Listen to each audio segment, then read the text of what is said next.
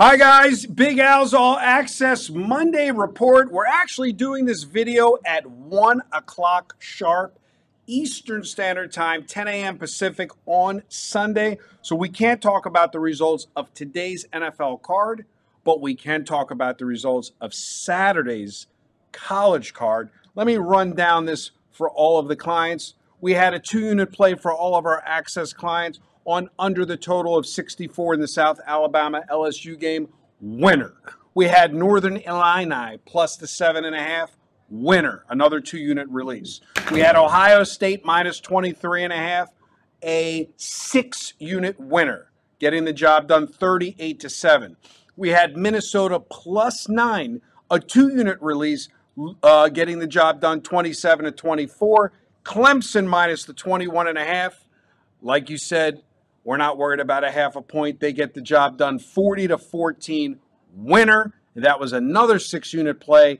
Rounding out with under the total of 51 and a half. Let's not forget about the CFL as we make 20 units. And again, if you're a serious player, you go 6 and 0. Dime player makes 20,000 on a 6 and 0 sweep on Saturday. And yes, CFL is football. If there's a line on a game, I always say either side could win. You remember my partner, Duke uh, Al? He always used to say, if there's a line on a game, either side could win. Don't worry about whether it's the CFL or whether it's NFL. A winner is a winner. Yeah, I, I, had a customer call me, you know, yesterday. He, he thanked me for the five and zero oh in college football. He says he didn't play the CFL because he goes, I don't know anything about the CFL. And I said, isn't that what you pay me for? Exactly. You have to be a betting robot if you want to treat your wagering as a business. So again, if you're a nickel per unit player, you made 10,000 yesterday. If you're a dime player, a dime per unit player, and again, when you look at the overall risk, you were risking a total at a thousand a unit, 21 units, and you made 20 units. So again, it's about the money management on our Al's All Access. Of course, you can head on over to pickdawgz.com if you're a smaller player and you don't fit the criteria. And of course, you know what I get this morning, Al. Oh, if I would have only played a six teamer. It's easy after it's over, guys. Stick to the script. Al, what do you have to say? Yeah.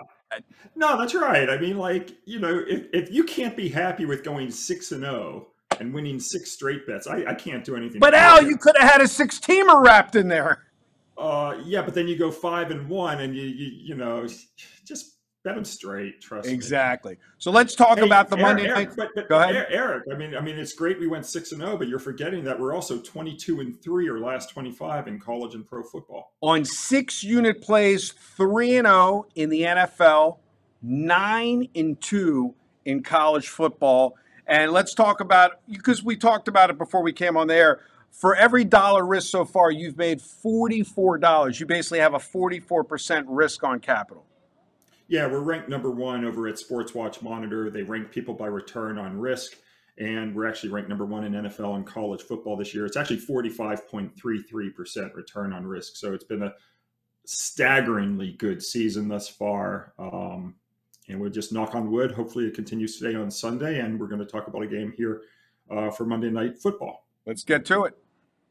Yeah, we're going to look at the game between the Seattle Seahawks and the Detroit Lions. And what's interesting about this game is that Detroit has played its first three so far this year, all under the total. A lot of people are going to have a knee jerk reaction and they're going to look for a low scoring game in this matchup versus Seattle, but be careful. I have a really good system that does play on the over. And additionally, Detroit has a really strong trend, which is on the over. And that is that they've gone 19 and 4 over the total at home when they were not off and over in their previous game. I think this game is going to fly over the total of 46 and a half. And we're going to take the over on Monday Night Football. Let's go over the totals, your complimentary selection. If you want to get access to the all access, 702 769 0404. Good day and good luck.